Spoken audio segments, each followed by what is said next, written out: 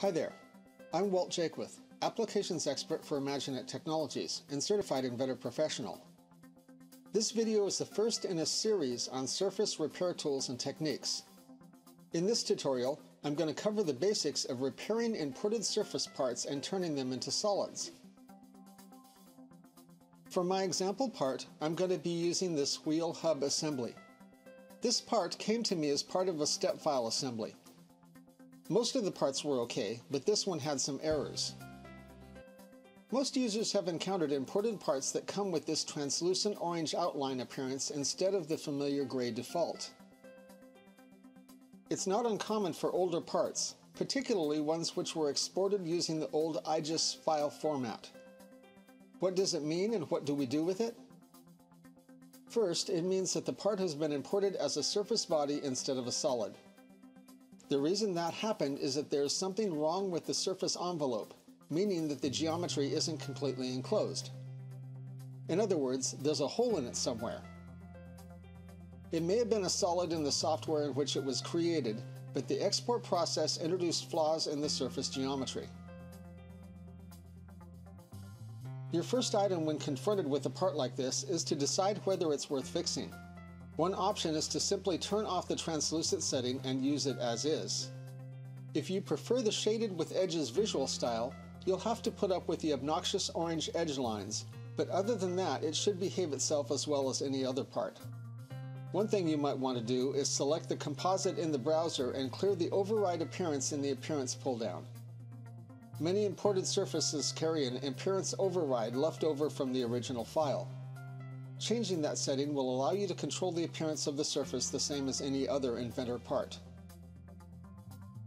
If you need to make changes to the part, it will be much easier if you first convert it into a solid. And that means finding the flaws in the geometry and fixing them. Here's how. As I said earlier, geometry imports as surfaces instead of solids in Inventor because that geometry is not fully enclosed by one continuous surface. One possibility for this condition is that the geometry is fully enclosed, but by more than one surface. That's always worth checking first because it's an easy fix. So the first thing to try is to select the Stitch command from the Surface panel on the 3D Model tab. Draw a box around the whole component and try to stitch it. If that works, the part will immediately convert into a solid and you're done. If not, the command will either fail or succeed but still leave you with a surface model. Either way, it means we still have problems that need fixing. If the part's stitched but didn't make a solid, it's best to undo that operation to get back to the original surface body. Then we need to get into the repair environment to do some testing. To get there, I'm going to right click on the composite in the browser and select Repair Bodies. The tools here are similar to the ones in the Surface panel, but have some additional capabilities and diagnostic options. Notice that the first tool in the list is the Find Errors tool. This tool can spotlight surfaces which are so flawed that they failed altogether on import. In my experience, that's not a common problem, but I have seen it. It will also find things like overlapping surfaces or edges. It's a good idea to always run this tool first. If it finds anything, you'll need to deal with it before you can move forward.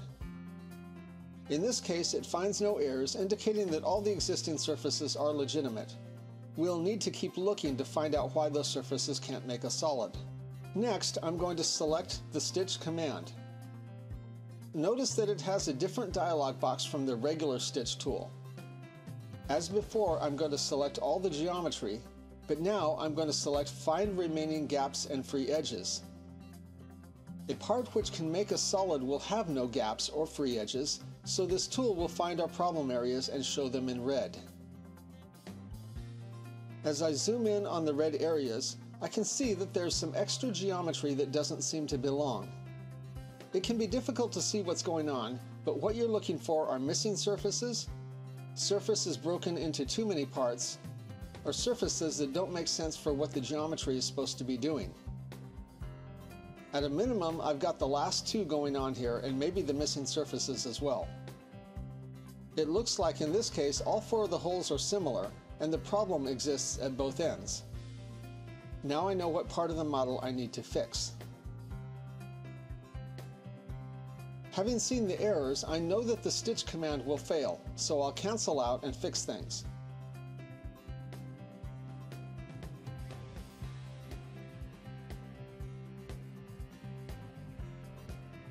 Hovering over the surfaces, I can see that the whole chamfer surface somehow got split into two.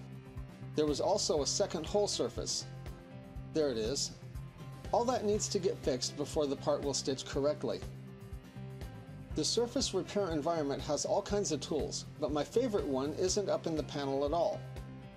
I'm going to right click on one of the bad surfaces and select delete. And again,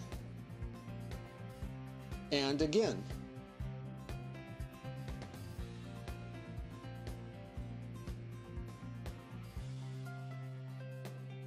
Now I'll select the boundary patch tool and then the two remaining edges. The surface is created between them. Now I can move on to the other side of the hole. I still have two bad surfaces to delete here.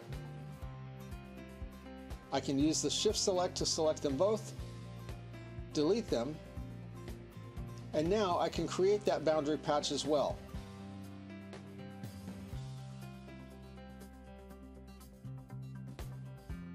Now I need to do the same thing for the remaining three holes.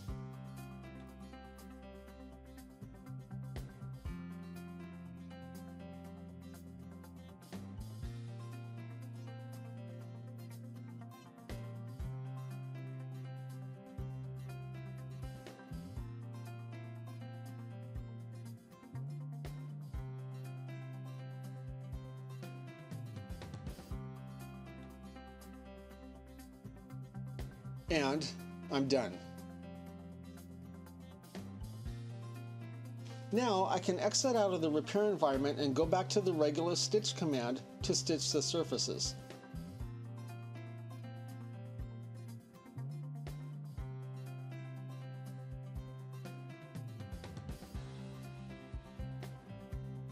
And it worked. I have a solid body now instead of surfaces. In my experience, many errors found in imported geometry can be repaired using the method I just demonstrated. It's easy, quick, and gives good results in many cases. There are times, however, where simply deleting the bad surface and filling the resulting gap with the boundary patch is not what I'm after. We'll see a specific example of this in the next video. For now, let's take a quick look at some of the other tools in the repair environment. I can use the extend faces command to lengthen a face.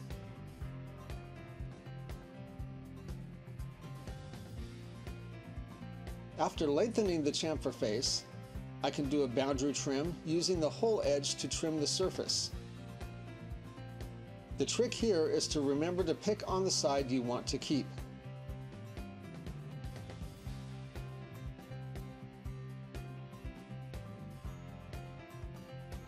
If both edges extend past each other, I can use the Intersect Faces tool to trim them both at the same time.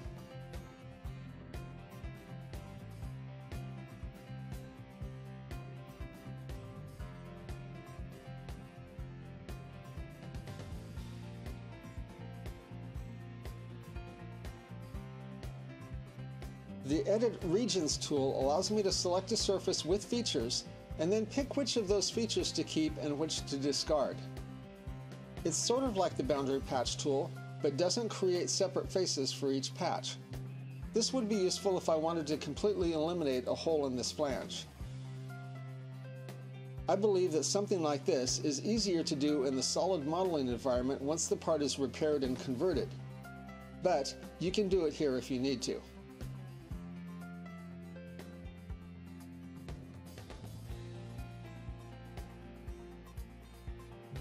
The Extract Loop tool pulls the edges of a surface out into a 3D sketch. This is useful if you want to do something different with the surface, using the current one as a starting point.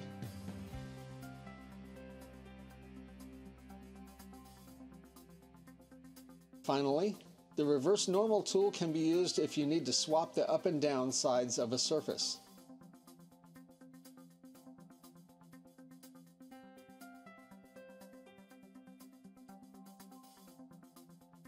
In any case, the repair process will leave the history with the surfaces and repair geometry folder in the browser. If you don't mind the clutter, it doesn't hurt anything, except that it does make the file considerably larger than it needs to be. If you want to clean the file up, the way to do it is to re-export the geometry to a neutral file format and then reopen it. I found the Parasolid X underscore B file format to be excellent for this purpose. I'll write the file out and then open it, being sure that only the solids option is checked.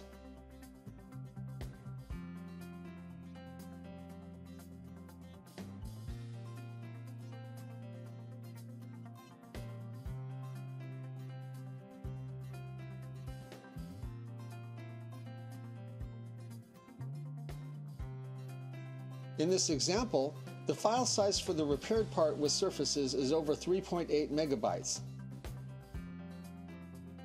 Exporting to X underscore B and reopening the part without bringing the surfaces brings the size down to less than 1.7 megabytes.